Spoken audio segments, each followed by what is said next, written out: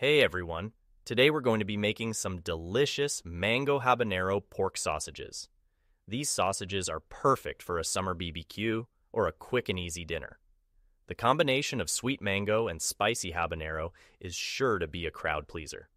To make these sausages, you'll need ground pork, diced mango, diced habanero pepper, garlic, salt, and pepper. By mixing all the ingredients together in a large bowl, be sure to wear gloves when handling the habanero pepper, as it can be very spicy and irritating to the skin. Once the ingredients are well combined, form them into sausage shapes.